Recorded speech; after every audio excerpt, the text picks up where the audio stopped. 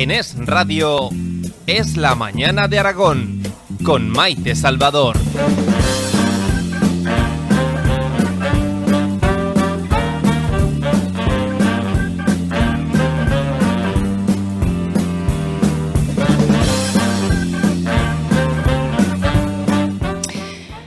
Los funcionarios que gestionan los ERTES están agotados, están agotados y con miedo. Confiesan muchos que temen abrir las puertas de las oficinas del SEPE por el enorme enfado de muchos trabajadores, trabajadores que no han cobrado el ERTE de sus empresas. Y los funcionarios del SEPE solo quieren hacer su tarea, hacerlo con claridad, naturalmente. Y resulta que nada está claro en los reales decretos que marcan las normas de los ERTES. Nada está claro en el Ministerio de Trabajo y eso se traslada a los funcionarios y de ellos a las empresas y de las empresas a los gestores y a los trabajadores que no cobran. Fueron los médicos, después la Guardia Civil, ahora los funcionarios de las oficinas de trabajo. Están consiguiendo, desde el Gobierno de España, sacar de sus casillas a la inmensa mayoría de los funcionarios. Curiosa revolución la creada por la mala gestión.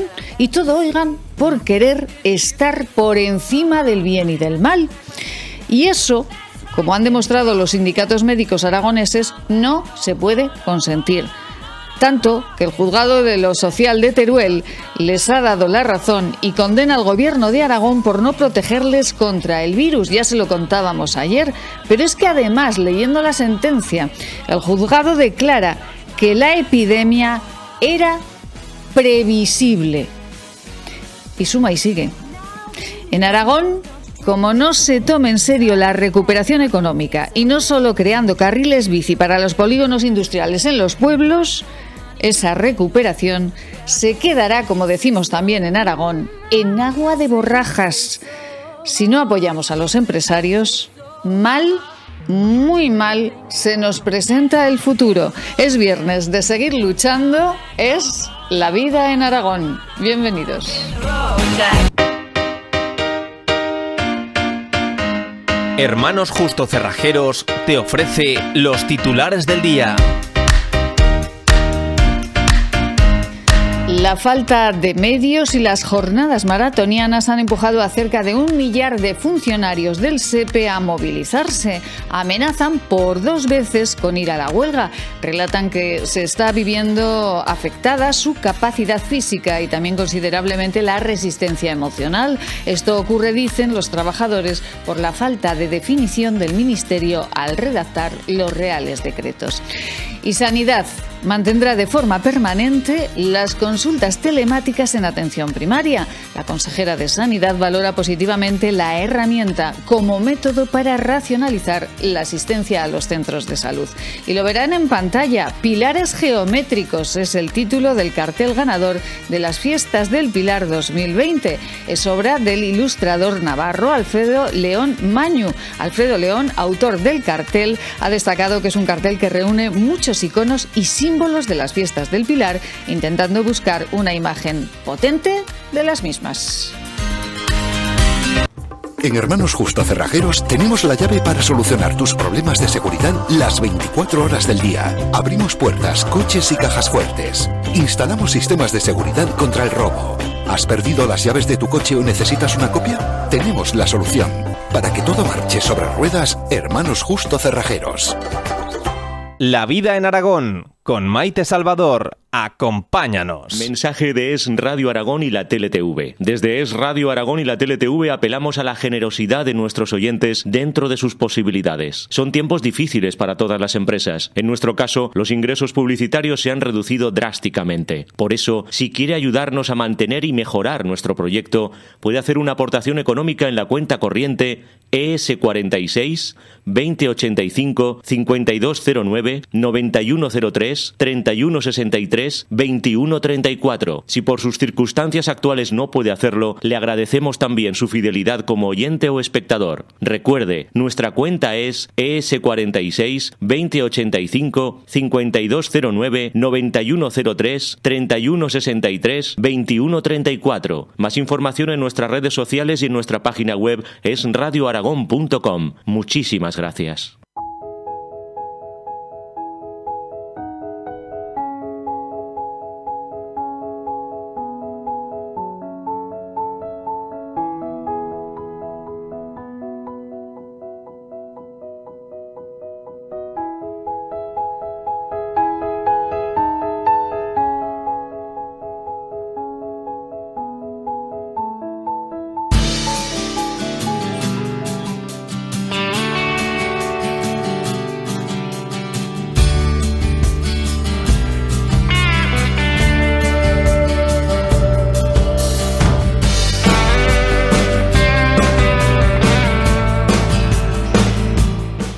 Nosotros se lo contamos ayer y hoy, por supuesto, queríamos estar, eh, como hemos estado durante todos estos meses, con los sanitarios, con los médicos, eh, con todos aquellos que han velado por nuestra salud.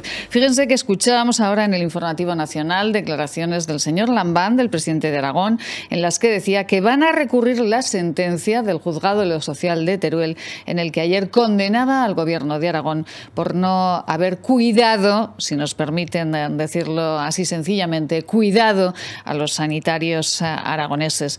Doctora Asun Gracia, muy buenos días. Hola, buenos días. Doctora, eh, ¿ha escuchado las declaraciones del presidente del Gobierno de Aragón, don Javier Lambán, que dice que bueno, eh, bueno, que van a recurrir porque ellos no han tenido mala intención? ya, no las he escuchado en directo, sí que me lo habían, me lo habían comentado ya sabíamos ayer que llevaban esa intención. Bueno, nosotros desde nuestra posición, yo lo respeto, desde luego tienen que seguir todos los pasos legales que consideren oportunos, están en su completo derecho. Sí que es verdad que personalmente pienso que, que sería ahora el momento de parar, pedir perdón y comportarse con humildad, que es lo que ha faltado en todo este tiempo de pandemia. Efectivamente. Es que además ustedes reclamaban, eh, si le parece, vamos a ir por partes, eh, porque he, leído la parte de la sentencia porque es muy extensa, pero eh, los puntos más importantes. Y hay tres puntos que me parecen muy destacables en esta sentencia. Le recordamos a los oyentes que el sindicato médico FASAMED, al que pertenece la, la doctora Gracia, pues ponía unas denuncias en las tres provincias aragonesas solicitando ya hartos de que no se les diese, solicitando material para combatir, eh, como se debe combatir al virus. Y el juzgado de lo social de Teruel, pues daba la razón al sindicato FASAMED contra el gobierno de Aragón. Se han vulnerado los derechos de los trabajadores, dice la sentencia en primer término. ¿Es así, doctora? Así es, correcto, Maite. Y eh, además eh, dice algo que es también muy importante, me parece, doctora, en otro de los puntos de la sentencia. Dice que la epidemia era previsible.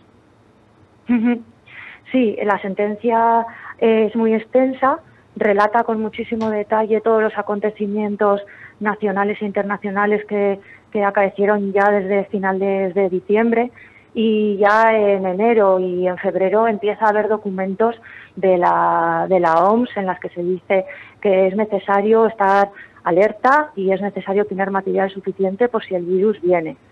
Entonces, eh, creemos que la sentencia ha sido muy acertada porque, desde luego, parece, todo apunta a que la, a que la pandemia era previsible y, se, y, se, nos hubieran podido equipar de, de medios. Estamos hablando de, de, qué fechas recordamos, doctora, de qué fechas eh, eh, habla, de fechas esta sentencia, de que esa epidemia era previsible. Sí, todas las primeras páginas relatan hechos desde el 30 de diciembre, creo que empiezan, y, ya en, a primeros de febrero ya empiezan a salir los documentos alertando, alertando a todos los países para que estuvieran precavidos. Por lo tanto, eh, bueno, pues eh, aquello de no sabíamos, no sabíamos lo que ocurría, no estábamos preparados porque nadie nos alertó, todo eso tenemos que descartarlo, ¿no? Así es. Así es, eso parece, desde luego. Eso parece.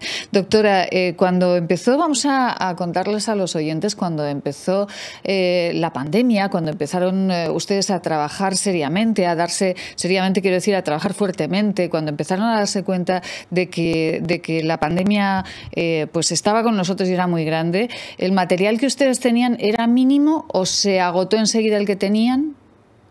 A ver, cuando empezó, el material era cero lo único que teníamos era el material que nos administraron cuando la crisis del ébola y estaba todo caducado.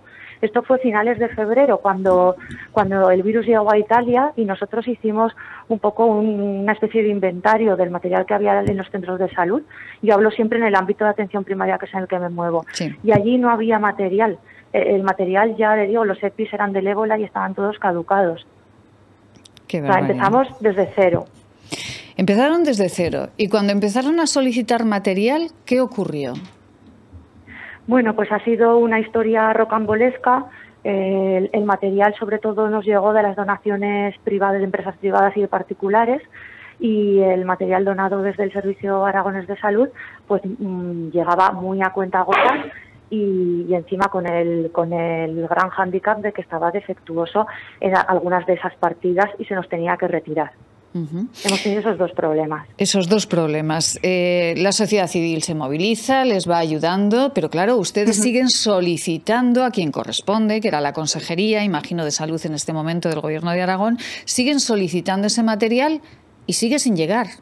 Y sigue sin llegar, eso es, hasta que ya se nos dictan las medidas cautelarísimas y, al parecer pues cierto material que tenían almacenado eh, aquí en plaza pues se nos empezó a administrar pero pero muy poquito a poco y, todo vía vía judicial. Ustedes han han aguantado eh, lo, inaguantable. Seguramente muchos de nosotros no hubiésemos tenido ese, ese aguante. Han seguido trabajando, trabajando, trabajando. Y esto también eh, es importante, lo refleja la sentencia del juzgado de lo social de Teruel. Esa sentencia dice que los sanitarios podían haber abandonado su trabajo, pero gracias a su vocación nada se paralizó, doctora. Así es, así es. La, sanidad pública siempre decimos que tenemos eh, un servicio sanitario excelente, pero lo que tenemos excelente son los profesionales que han aguantado sin, sin el material necesario, confeccionándose los trajes, aguantando los, eh, los desdenes de las palabras de, de nuestra exconsejera. Y, y hayan estado, hayan estado. El, el virus es, eh, es, tan contagioso y tan grave que, que podían haber cogido eh, personal de riesgo eh, pues una baja por personal sensible como, cualquier otra empresa y por el bien de la ciudadanía ahí han seguido aguantando al pie del cañón desde luego se merecen un, gran aplauso todos los profesionales. Se merecen todos un gran aplauso. Eh, es algo que, bueno, refleja la sentencia que todos, absolutamente todos los ciudadanos eh, hemos percibido a lo largo de, todos estos meses. Ahora lo que nos toca a nosotros es arroparles a ustedes, eh, porque seguramente después de este estrés, doctora, vendrá un bajoncito y tendremos que estar abrazándoles un poco, ¿no? Sí, y yo sobre todo pido eh, responsabilidad social de la ciudadanía y de los profesionales sanitarios, porque esto no se ha terminado. Esto sigue. Estamos en fase de desescalada que está siendo muy dura para atención primaria y, se prevé un repunte. y la responsabilidad es nuestra. Eh, tenemos que intentar eh, evitar las aglomeraciones, ir con mascarilla. Yo se lo pido a la gente que vaya con mascarilla por la calle y, desde luego mantener la distancia social. Es difícil, llevamos mucho tiempo, todos queremos eh, estar con nuestra familia y con nuestros amigos en las terrazas. Pero, pero es que la situación no ha pasado. Aunque, aunque sales a la calle y parezca que, que ya se ha terminado, no y lo que no nos podemos permitir un país como en el que vivimos es echar marcha atrás y volver a la situación de confinamiento con todo el, problema económico que, que va a acarrear. Doctora Asun Gracia pertenece al sindicato FASAMET. Ellos eh, ya hartos ya eh, decidieron llevarlo al juzgado. El juzgado les ha dado la razón en, Teruel. El gobierno de Aragón eh, pues dice que va a recurrir y bueno pues ellos sabrán lo que lo que hacen. Los médicos han estado en situaciones muy duras, muy difíciles. Un día, doctora, hablaremos de esos médicos que tuvieron que decidir qué paciente sí, qué paciente no, porque no había material y de las consecuencias psicológicas que eso le puede dejar a un médico, ¿no? Sí, sí, la verdad que, eh, a ver, mucho se habla de esta situación. Esta situación la vivimos nosotros en la práctica diaria. Eh, cuando te enfrentas a, varias urgencias vitales a la vez, hay que decidir. Entonces, eh, un accidente de tráfico, varios heridos, siempre tenemos que decidir. O sea, esto no ha sido nuevo, pero sí que es verdad que, sumado a, la extrema gravedad de los pacientes, eh, ha sido horroroso, horroroso sobre todo eh, para los compañeros intensivistas. Doctora Asungracia, miembro del Sindicato Médico FASAMED, enhorabuena por eh, esa sentencia del de, juzgado de lo social de Teruel y por seguir luchando y por no dejarnos abandonadicos, que podrían haberlo hecho y no lo hicieron. Muchísimas gracias. No, ni, lo haremos. Muchísimas gracias a ustedes. Muchísimas gracias, doctora. Feliz fin de semana. Muchísimas gracias. Unos consejos. Necesita. Cierra la puerta al coronavirus. Hazlo por ti, por las personas que quieres, por tu ciudad. Porque juntos vamos a ganar esta batalla. Quédate en casa. Mensaje de Es Radio Aragón y la TLTV. Desde Es Radio Aragón y la TLTV apelamos a la generosidad de nuestros oyentes dentro de sus posibilidades. Son tiempos difíciles para todas las empresas. En nuestro caso, los ingresos publicitarios se han reducido drásticamente. Por eso, si quiere ayudarnos a mantener y mejorar nuestro proyecto, puede hacer una aportación económica en la cuenta corriente ES46 2085 5209 9103 3163 2133 si por sus circunstancias actuales no puede hacerlo, le agradecemos también su fidelidad como oyente o espectador. Recuerde, nuestra cuenta es ES46 2085 5209 9103 3163 2134. Más información en nuestras redes sociales y en nuestra página web es radioaragón.com. Muchísimas gracias.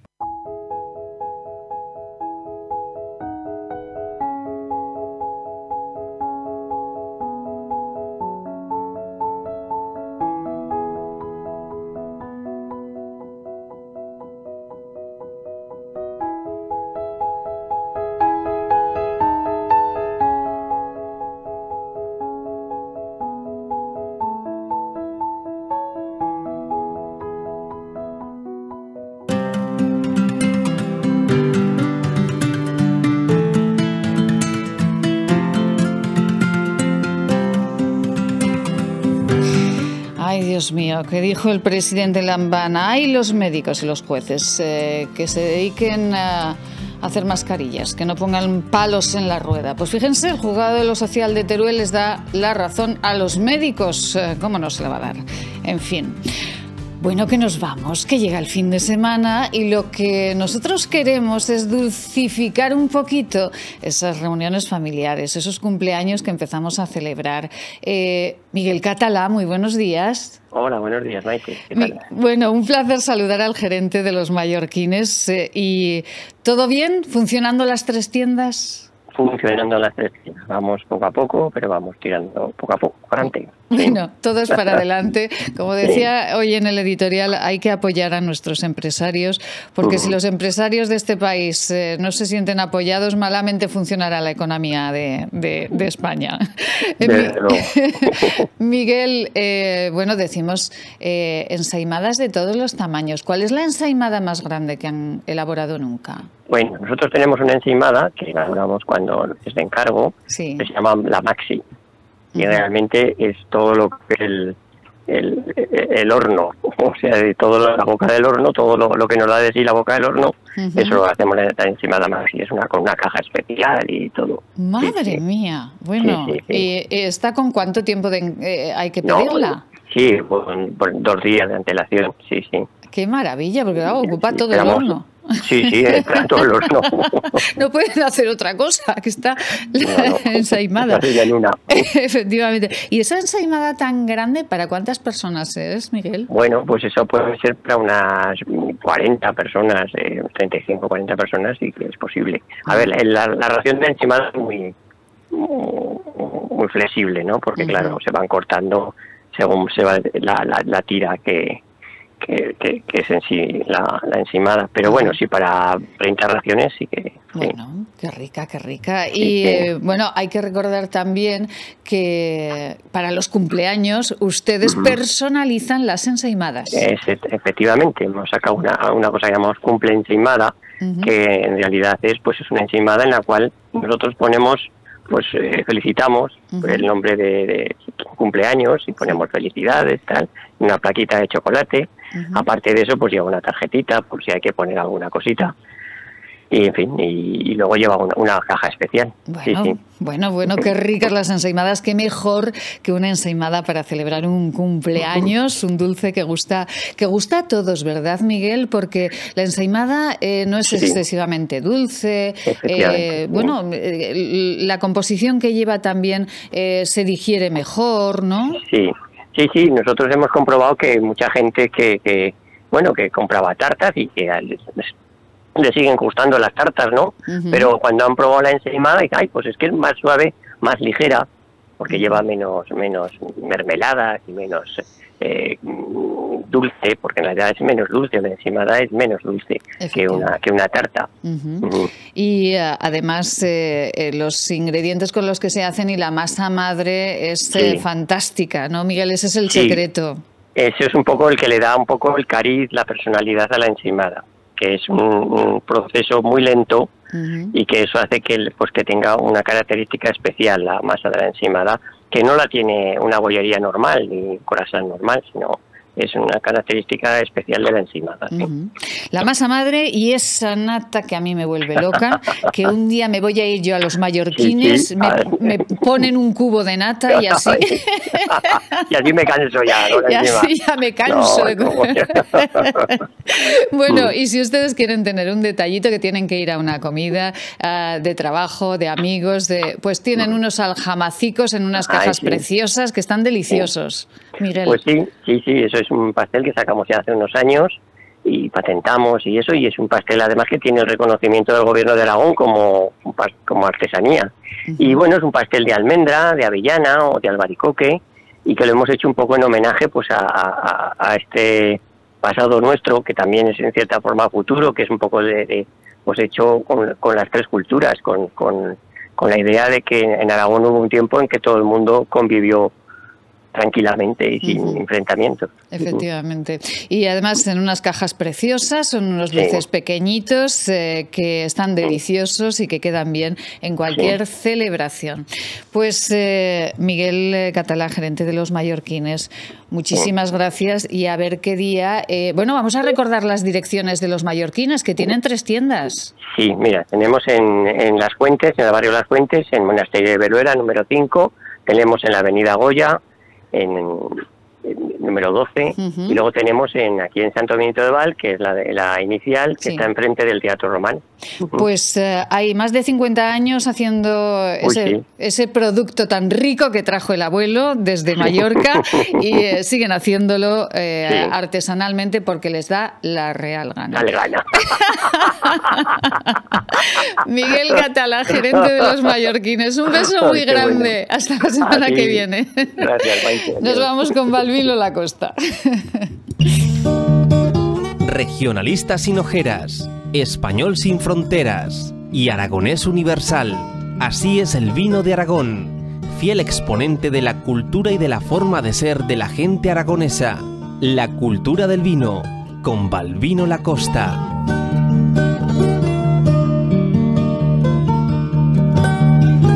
Costa. Valvino La Costa, muy buenos días. Muy buenos días, con muchísimo viento en el viñedo. Vaya por Dios, y esto no se me oye. ¿Y esto, es, bueno. esto es bueno o malo? No, esto es bueno, hombre. El cierzo, el cierzo le da potencia, le da autoridad a, nuestros garnachas. Ay, cómo me gusta. Bueno, Ay. acuérdate que no me casaré contigo porque he los sarmientos largos, ¿eh? Madre mía, mía, mira, mi amiga Beatriz Jimeno, una grandísima mesosoprano, está, está que no sé, que no sabe qué hacer con este refrán, Balvino. Bueno, pues mira, tiene mucho que ver con que no importa la cantidad, sino la calidad de las cosas, ¿eh? Ah, qué bonito. Va mucho el tiro por ahí. El matrimonio, como la pareja, es una, es una convivencia mutua en la cual ambos deben aprender y saber el punto medio de todo. ¿eh? Bueno. el lunes daremos la, respuesta todavía más adecuada. balvinobalba.hotmail.com Balvinobalba. Realmente los oyentes han mandado muchísimos porque este era relativamente fácil bueno. se, presta, a una buena discusión. Balvino, ¿qué vino nos recomienda para el fin de semana? Para este fin de semana, el la Garden Prius Sira. La Garden Prius Sira la Garden Pilusía, que es uno de los vinitos que acabamos de sacar ahora en, como monovarietal y en, en barrica criado. Pues este, este nos tomaremos eh, y el lunes hablaremos de él. Sean felices. Un saludo a todos. Feliz fin de semana, Balvino. Adiós.